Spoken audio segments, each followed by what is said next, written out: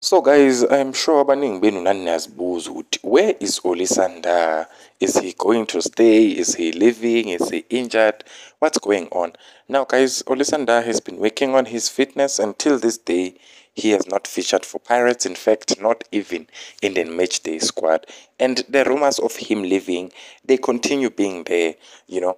And manje, in accordance with e-soccer, laduma bafethu. Orlando Pirates has targeting the TP Mazembe defender to replace Olisa Ndah.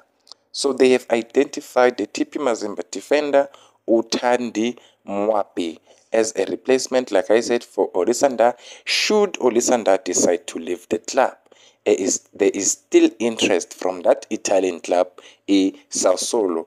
So this is a 26 year old Zambian international and he is contracted to ATP Mazembe until 2024, having signed a five year deal in 2019. So if it happens that Olisa Ndah does leave, by the way, we've talked about Olisa Ndah a lot, and I think we we can all agree again, Uti, he's done fairly well, and he's a top defender, and it's not a surprise that there are some teams abroad that are interested in him, particularly Isasola Le Italy. So should this materialize, ladies and gentlemen, Orlando Pirates is also targeting the TP Mazembe defender yena laphayana Uthandi mwapi who is only 26 years old. So we will see what will happen at the end of the season because we're just left with two months. I think things will get clearer in this upcoming transfer window. So guys, njengoba ngishilo, eh, uSerino uyaqualify ukuthi adlalele Bafana Bafana. In fact, naye ushilo ukuthi he would love, it would be a dream come true for him to play for Bafana Bafana, especially for a player from abroad, you know, to be registered in the national team of another country like South Africa. That would be a dream come true for him. Now, coach wakhe, Urlan Mokwena, has also backed him.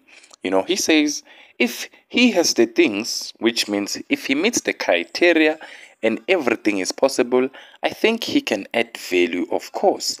But I do not select the national team. That is the hard part. There are so many good players in this country. I don't even think if there's a good player available, it should be a discussion.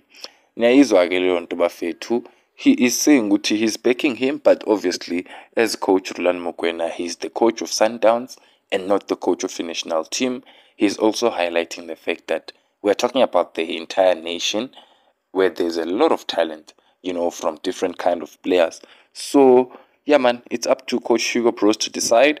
Ushilo yena userena ukuthi i've had a great time in this beautiful country. I love everything about it. And if i get presented with the chance to to don the national team colors i would jump at the opportunity. But the decision does not rest with me.